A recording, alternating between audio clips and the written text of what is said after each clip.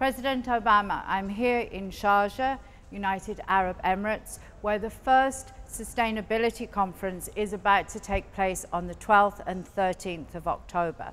This is a very historic time for the Middle East because as we go through the peace process, just the talk alone isn't enough. We have to ensure that we plan top down and that we invest bottom up. And of course, that is what the Queen of Green is doing across the Middle East. There are 100 million youth and we're wasting their talent and skills. There is bountiful hours of sunshine, of wind, and we're wasting all of that free energy that was given to us by Allah. So it's a very exciting time here in the Middle East. I've spent the last two years um, preparing communities in something like 14 countries, and now they are ready to transform.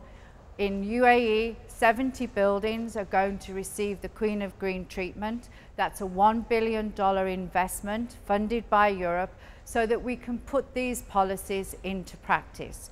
So you may be putting solar panels on the White House roof, but over here we're way ahead of you because we're doing a 14 point plan to make each building change from an energy consumer to an energy generator. So that's the air, the electricity, the gas, the water, all the materials, all the things, all the processes that are used in terms of transferring the knowledge, the technology and the processes. This is what Sharjah now is the epicenter of the UAE and is transforming the Middle East.